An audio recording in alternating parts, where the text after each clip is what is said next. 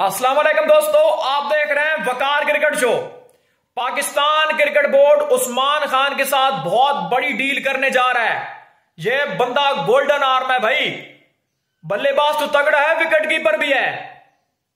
आज़म खान हो गए, फखर जमान हो गए, मोहम्मद हारिस, इनकी जो जगह है वो डामाडोल है भाई। लाले पड़ गए इनको। आप सोच रहे हो उस्मान खान तो भाई as a foreign player PSL के लिए खेलने के लिए आया था। वो कैसे पाकिस्तान को रिप्रेजेंट कर सकता है अगेंस्ट न्यूजीलैंड? या टी ट्वेंटी वर्ल्ड कप 2024 में। भाई, ज़रूर करेगा। उस्मान खान हाईली टैलेंटेड बल्लेबाज है। और इस बंदे ने चेक करके दिखाया कि 14 इनिंग्स के अंदर पीएसएल में तीन सेंचुरी जड़ दी, तीन फिफ्टी जड़ दी। यह है बंदे की काबिलियत। और बेहतरीन बल्लेबाज का जो अवार्ड है, वो भी उस्मान खान को दिया गया पीएसएल के अंदर। यह भी आपको क्लियर होना चाहिए। पाकिस्तान क्रिकेट बोर्ड की नई मैनेजमेंट और सिलेक्शन कमेटी वो अब सोचने के ऊपर मजबूर हो गई है कि अब हम उस्मान खान को जाया नहीं कर सकते हैं।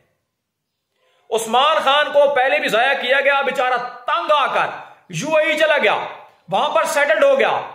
अब उसको तकरीबन साढ़े तीन साल, चार साल कर्सा हो चुका है वहाँ पर।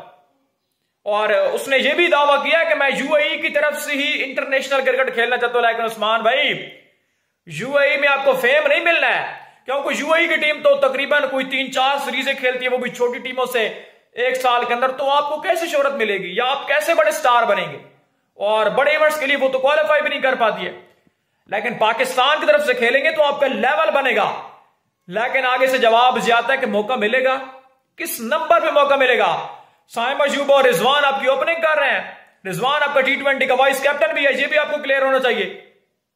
और हो सकता है कि कप्तान भी बहुत जल्द बन जाए। तो साइम तो कन्फर्म है, बाबर वन डाउन पे कन्फर्म है। जब बाबर और साइम अगर आप ओपनिंग करवाते, उस्मान खान को वन डाउन पे ट्राई करते हैं तो फिर रिजवान का क्या बनेगा? लेकिन बड़ा एडवांटेज यह है कि उस्मान खान विकेट कीपर भी है। रिजवान और आज़म खान को भी आप भाई, आप मोहतात रहना पड़ेगा कि यह बंदा हमारा काम खराब कर सकता है। उस्मान खान क्या नंबर चार पे खेल सकता है? खेल सकता है, बिल्कुल खेल सकता है, लेकिन नंबर पाँच पे वो नहीं खेल सकता। नंबर चार तक ही उस्मान खान खेल सकता है। इसके अलावा आपके पास फखर जमान भी फिर ऑप्शन मौजूद है।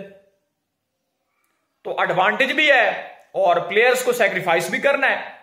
उस्मान खान को ट्राई करने के लिए। लेकिन अगर आप उस्मान खान को मौका देंगे तो आपको रेगुलर बेसिस के ऊपर मौका देना पड़ेगा। उस बंदे का कैरियर इस मरतबा खराब नहीं करना है। ये जहन में रखना पड़ेगा। वो हाईली टैलेंटेड बल्लेबाज है, हम उसको बिल्कुल नहीं खो सकते और पीएसएल के अंदर उसकी जो आपने काबिलियत देखी है कि वो एंकर भी करता है और बड़े शॉट्स भी लगाता है। शायद वो आज़म खान जैसा या इफ्तार जैसा बड़ा पावर हिटर ना हो, लेकिन वो एंकर इनसे बेहतर करता है। वो गेम को डीपली लेके जाता है और फिनिशर है। ये तो उसकी रियल यानी कि काबिलियत है, इस बात में कोई दो राय नहीं है। तो बरन जनाब, उस्मान खान के रिलेटेड बड़ा फैसला आने वाला है। लेट्स ही देखते हैं क्या करते हैं। अपडेट से चलेगा तो लाइक और सब्सक्राइब ज़रूर कर देना।